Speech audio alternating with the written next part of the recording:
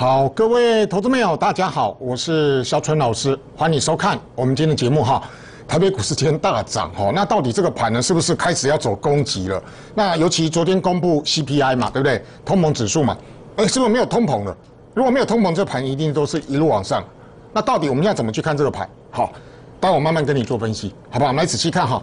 今天指数涨得不错哈，指数呢开高震荡走高，最高涨两百零五点，那目前大上也接近两百点，对不对？今天一根长红棒，你看哈，一根长红棒。台北股市跌了千点之后，在半年线啊这边荡了好久，差不多快一个月了嘛，对不对？那今天又涨起来，那是不是代表说，哎，底部就是定了？然后呢，这个盘呢要开始一路走攻击，是不是开始走攻击？好，我们来仔细看了。其实，其实我在分析这种盘势的时候，你你看我节目，除非你是今天才看的，其实你看我节目稍微看个几天，你都会知道，其实我们是从国际金融的角度啊。我们来去看这个盘，对不对？那这种盘势呢，有的时候你要了解说，到底这个盘它现在到底从国际金融里面去看，它是多还是空嘛？因为这关系到什么？你这里是要买还是要卖嘛？因为大家都想赚钱啊，啊，总不能说啊跌了千点下来，你每天买每天买每天买，那一定是赔钱的，是吧？所以呢，盘势怎么看？我们还是先从国际金融里面来去做推敲，好吧？我们来看哈。因为昨天公布 CPI 嘛，那我我我先拿新闻给你看了哈。但新闻的标题是写了，美国八月核心 CPI 加速成长，联总会今年可能再次升息，好，标题是这么写哦，啊，可能会再次升息哦。然后呢，另外一篇文章就写啊，即使通膨回温，交易员仍认为啊，联总会的升息就告此到此告一段落。有没有？你看，两个标题不一样哦，一个是要再升息啊，一个是说不会升息啊。啊，到底会升还是不升？有没有发现，整个市场现在对于未来升不升息很分歧啊？那为什么会造成这个现象？好，各位，我们注意看了哈。其实我们从昨天 CPI 公布出来之后，你从那个内容里面来看呢，其实大家在各自解读了。什么叫各自解读？好像很有趣啊！你注意看哈，美国劳动部周三昨天公布了八月的消费者物价指数，你从年增来看呢，哈，年增三点七趴，那前值在三点二趴嘛，啊，代表说 CPI 有增加嘛，哦，三点七趴嘛，然后前值三点二趴，对不对？好，重点我们来看核心 CPI 了哈，核心 CPI 是扣除。食品跟能源嘛，就石油的成本嘛，那结果呢？CPI 年增四点三趴，然后呢，低于前值四点七趴，这代表什么？你从年跟年的那个比较来看呢，CPI 还是增温，好，但是呢，核心 CPI 的增幅呢，它缩小，因为来到四点三嘛，前值四点七，对不对？好，这是年增的部分，我们再仔细看。如果你从月增来看啊，就跟上个月比啊，八月的 CPI 成长零点六趴，创下二零二二年六月以来最大的增幅。现在几？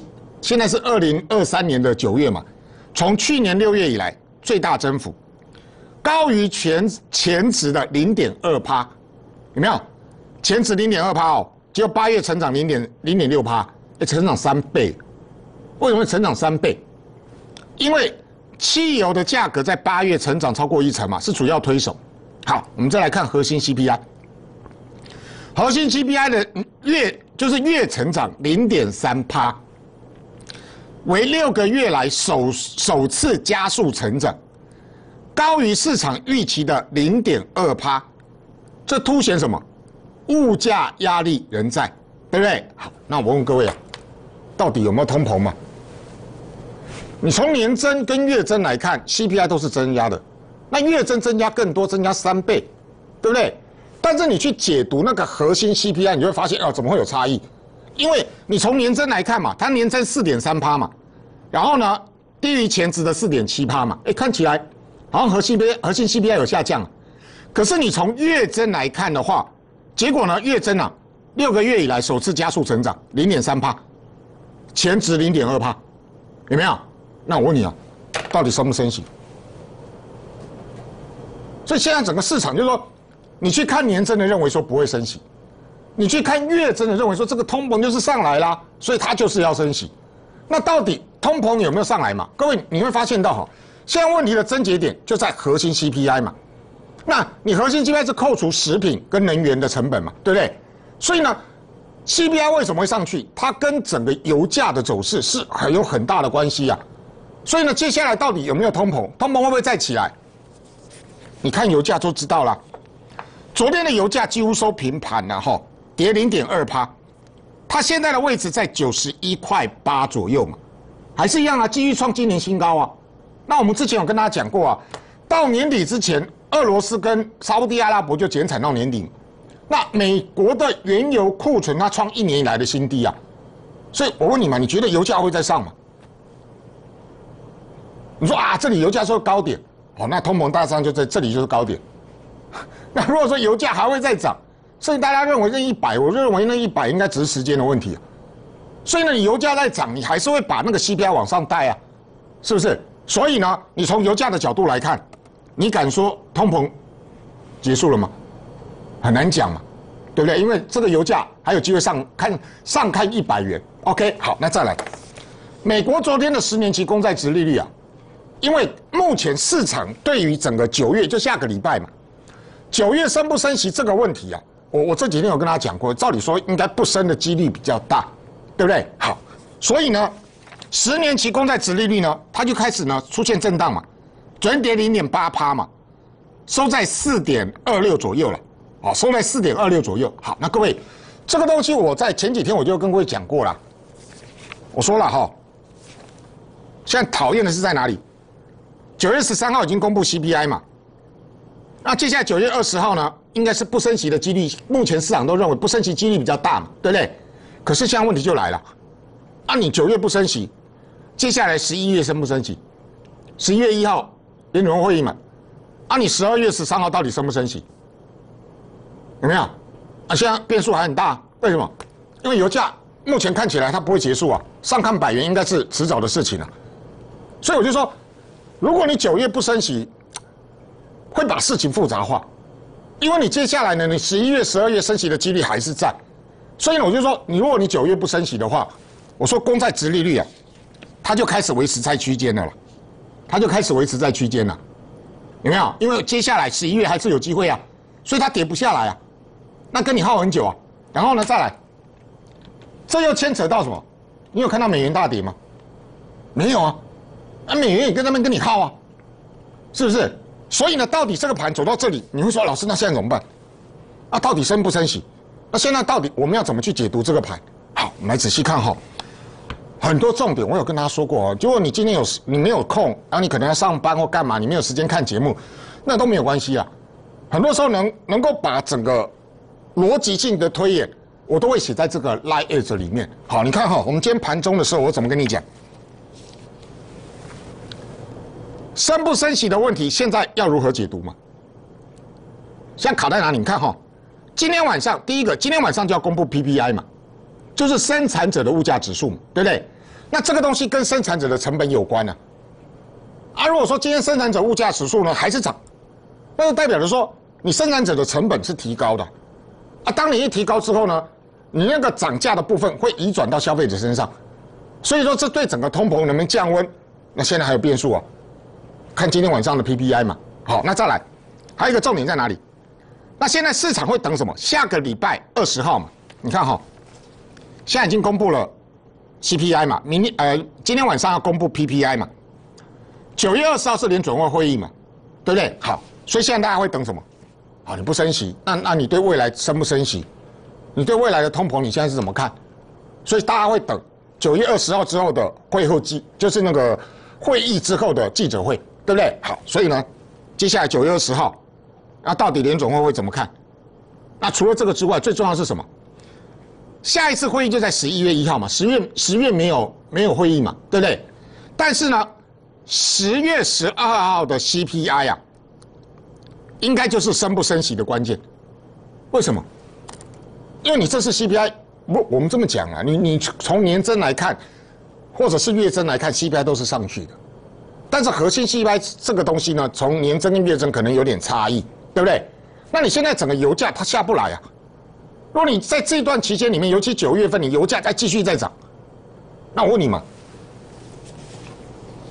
十月十二号这一天晚上要公布 CPI 啊，啊，如果说 CPI 呢它没有降，反而又在涨，那我问你嘛，啊，十一月一号有没有升机会升息？有没有机会升息？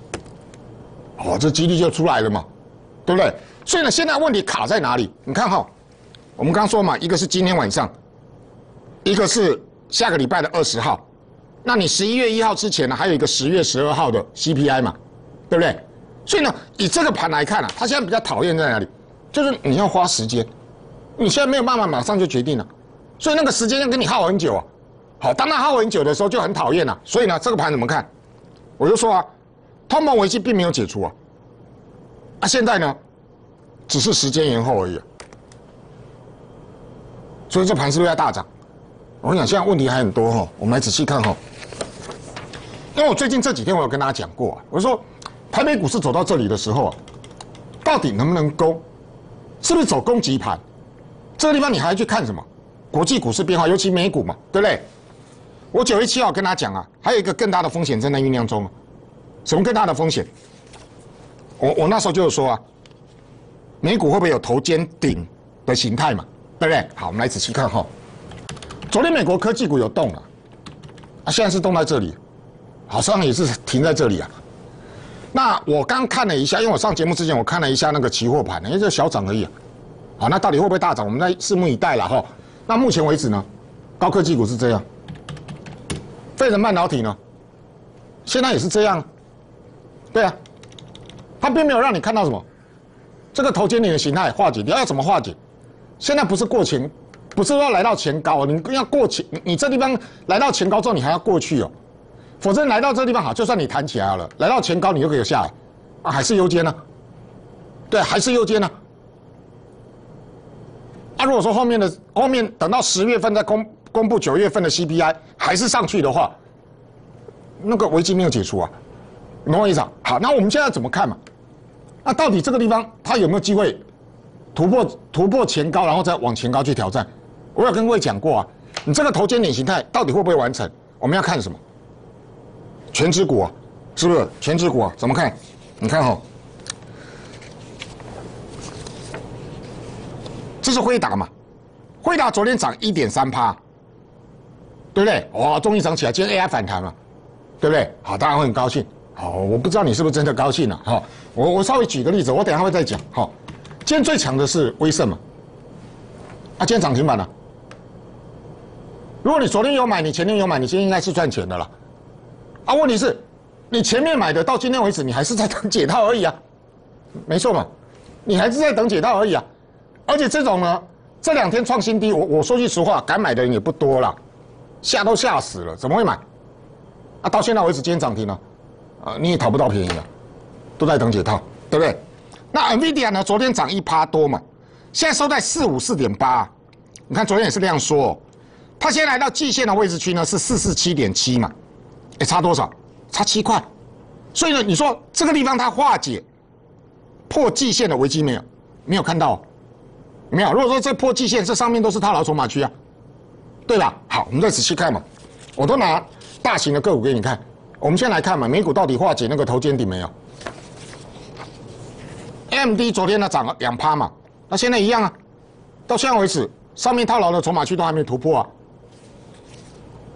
之前的博通呢，财测不如预期之后跌下来嘛，昨天涨多少？昨天涨一趴，啊，可是量缩啊。哦，这边看一下了哈，量缩嘛，对不对？啊，这个套牢筹码区化解了没有？目前看不到，是不是？再仔细看哈。之前我跟大家讲过啊，有一档 AI 标股叫 C 三 AI 嘛。那时候公布财报之后说要由亏转盈要等很久，当天跌两成啊，是不是？我昨天的图，昨天还在跌啊，昨天跌一趴多啊，收在二七点七啊。它这波跌下来的低点在二七点六，差一点点。啊，如果再涨不上去再跌呢？再冲波段低点呢？那你说？美国股市的 AI 转强没有？没看到，我真的没看到啊。它没有转强，你说台北股市的 AI 转强吗？好，你稍微思考一下了。好，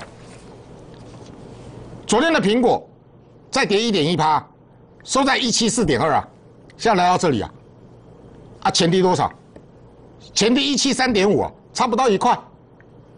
啊，你说这里转强了吗？看不到啊，是不是？所以我说危机都没有解除啊，所以危机没解除啊。现在问题就是说。他要跟你耗那个时间嘛，因为大家都在等那个 CPI，到底你真的通膨怎么样嘛？昨天公布出来的答案呢？啊，看年真的说啊不会升息，看月真的跟你讲说你通膨还是涨啊，你月增三倍啊，所以你有把握说啊十一月不会升息吗？嗯，我不知道你有没有把握了，我是认为十一月升息几率还是在，因为九月原本市场就预期不太会升息，这是合理的。那现在面临到这个问题，我说现在是时间延后，所以我们现在要怎么做？好，各位我们仔细看哈，我的那个 line eight 今天有写的很清楚哈，我把它找出来，在这里好，我们仔细看了，从以上内容来看，市场还是需要等待后续的数据才能够确定升不升息嘛，对不对？所以呢，股市应该会在这个地方维持忽涨忽跌的走势啊。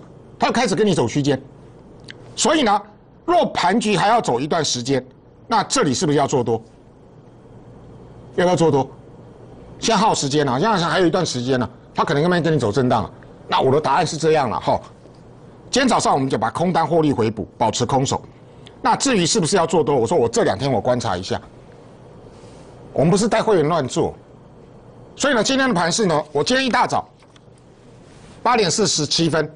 我说，昨天公布 CPI 通膨有增温啊，但核心 CPI 年增跟月增的数据稍有不同嘛。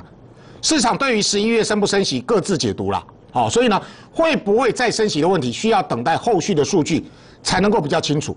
但这几天呢，但这要花时间去印证，所以呢，股市预计会有一段时间走区间忽涨忽跌，是否要做多？我说这两天老师思考一下，啊，思考一下。那是否有资金避风港，可以让按会员安全、安全的低阶，然后稳健的获利标的？我思考一下，有没有？所以呢，怎么做？我不会跟你乱凹了，有什么好凹的？反正赚钱，那不补一补就好了。啊，那要不要做多？我这两天看一下嘛。啊，如果说这个盘会稍微比较稳一点，它就跟你维持区间的话，啊，我再去找资金避风港，不就很好？是不是？所以呢，你看了，我我我今天没时间。把它做图了，我直接给你看了哈。九点零七分旗红回补嘛，获利回补；九点零三分见准回补嘛；九点零二分秦城回补嘛；九点零一分伟创空单获利回补嘛，有没有？那今天十点半左右的时候，我把华勤啊，它创低点嘛，今天也空单回补啊，有没有？你看嘛，它空一空嘛？跌跌下来回补啊，你看哦，空一空回补嘛。早盘的时候就把它回补啊，还有四分，好来见准高档空完之后呢，也是回补啊。秦晨空两次嘛，跌停板又下来的时候，我今天把它回补啊。旗红呢，高档空的时候一跌下来，我们来看嘛，今天早上呢也把它补一补嘛，是不是？所以我现在空手。啊，老师要不要做多？我说我这两天我们看一下，因为到现在为止你不用急呀。为什么你注意看嘛？我们刚说啊，你从美国股市的 AI 概念个股来看，西三 AI 再跌一块就创破断低点，其他的也都没有上去啊。那今天 AI 涨起来说，我知道了，很多人会想说啊，AI 要大涨。我说大大不大涨，我是不知道了。但是我就跟大家讲啊，你你有赚钱吗？你如果说买在高点的，到现在为止你还是在等解套啊。你看嘛，这些 AI 的个股嘛，你买在高点，现在都还在等解套啊。我刚就说了，二三八八的威盛今天涨停了，啊，昨天你买嘛，前天你买嘛，你现在都赚，那没话讲。可是我认为啊，会买的人不多了。你你你看，你还有那么多钱吗？真的，你还有那么多钱吗？好，我不知道了哈，可能你很有钱。那我前两天就说过了嘛，你很有钱，你认为说 AI 未来这几年都很好，没有关系，你就继续买。真的，你也不用去参加投顾啊。但是你要撑住啊，你不能停损哦，停损会被人家笑。这难卖就等于卖到最低点了，所以你就尽量买啊。到现在为止，你你说这里是大赚吗？你自己看嘛，是不是大赚嘛？图形就告诉你了嘛。这 AI 的个股反弹啊，你这样子下来你是大赚吗？今天尾创也上来啊，啊这样子你是大赚吗？我是不知道啦。如果你他没前面买的到现在为止你怎么赚？还不在等，是不是？那见准呢？啊，如果你前面买的到现在为止你你你是大赚吗？也是没有嘛。其实现在这个问题啊，不是说只有 AI 的问题而已啊。各位，问题发生在哪里？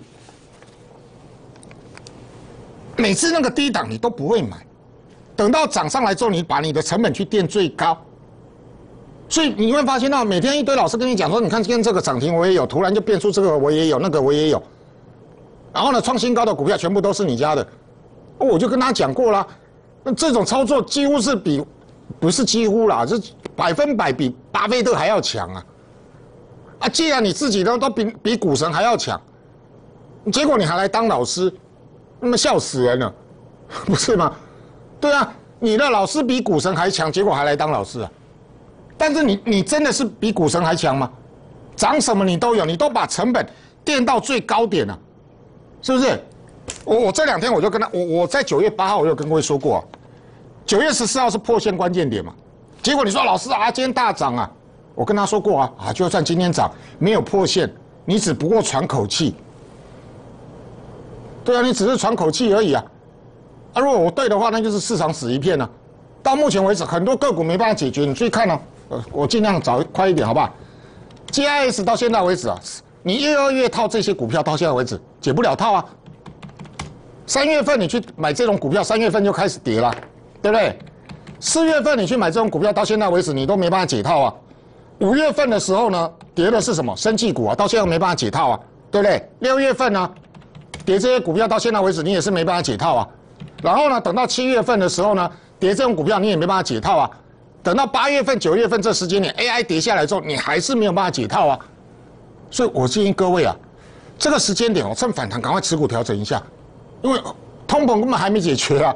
那你认为解决你就赶快买，所以呢，赶快持股调整一下。那当然，因为时间耗比较久，是不是应该去找资金避风港？我我这两天我看一下，好不好？该做多我会做多了。那我也不会去跟你凹单呐，让今天空单全部回补啊，我们就等空手在等看嘛，我们再看一下嘛，好不好？所以嘞，你认同我们的操作，过好年五十八，扶你到明年封关。什么叫五十趴？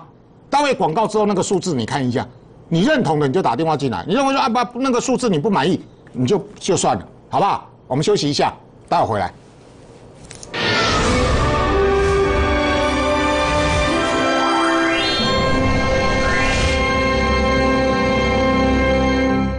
想了解最新台股走势，股市名师现阶段手中的标股，您想知道的一切都在股动乾坤。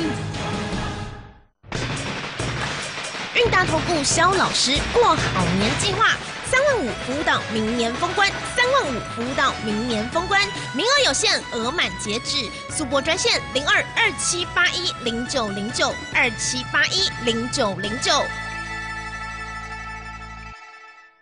二七八一零九零九，二七八一零九零九，二七八一零九零九，二七八一零九零九，二七八一零九零九，韵达投顾真心照顾。韵达投顾肖老师过好年计划。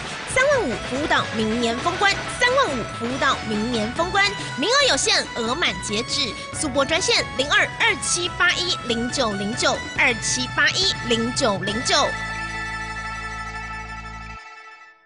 二七八一零九零九二七八一零九零九二七八一零九零九二七八一零九零九二七八一零九零九，韵达投顾真心照顾。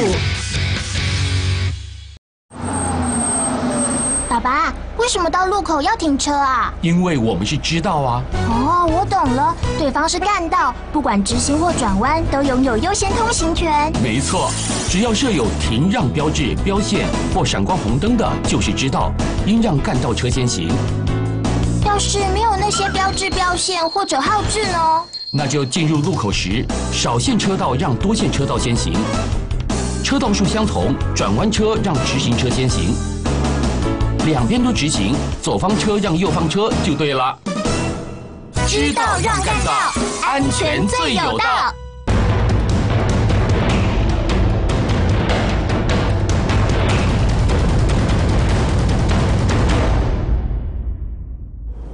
好，欢迎到现场哈。今天一早我们就把空单全部获利回补。好，我们现在目前是空手。好，那我刚刚跟大家说过，是不是要做多？我这一两天我再看一下，因为这波 C 这次 CPI 公布之后，那那个时间也会拖很长。所以呢，当它拖长的时候呢，那如果有做多的条件，我跟你讲，我会找那个低档的股票帮你去赚它一段，好不好？那到底要怎么去做？我们稍微再看整个盘势的变化，我们再来做决定。那你能够认同我们的操作方式？过好年计划五十趴，服务到明年封关。那什么叫五十趴？待会广告之后那个数字你看一下，你认同的就欢迎打电话进来啊，不认同的就算了，好不好？祝大家操作顺利，我们明天见，拜拜。本投资公司与所推荐分期之客也有大证券无不当之财务利益关系，以往之绩效不保证未来获利。本节目资料仅供参考，投资人应独立判断、审慎评估并自负投资风险。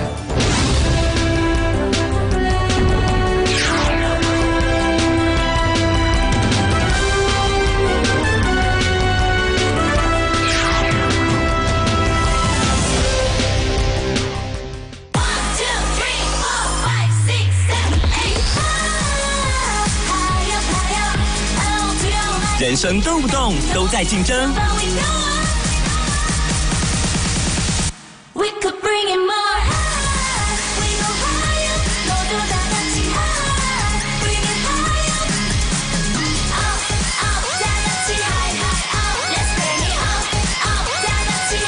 动不动就爱水白牛。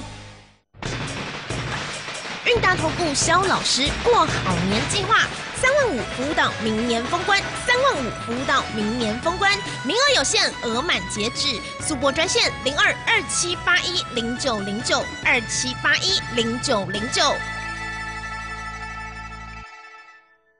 韵达投顾成立于民国八十四年，是一家政府立案合法运作的投资顾问公司，拥有证券及期货双执照。更是国内少数老字号的投顾公司之一。投顾业是一门良心的事业，面对的是高获利与高风险的投资。我们不造神，更不成魔，专业、智慧、经验、负责，用最严谨的态度、最严格的标准来决定股票买卖，带领会员稳健的获利，更是我们唯一的宗旨。韵达投顾真心照顾。零二二七八一零九零九二七。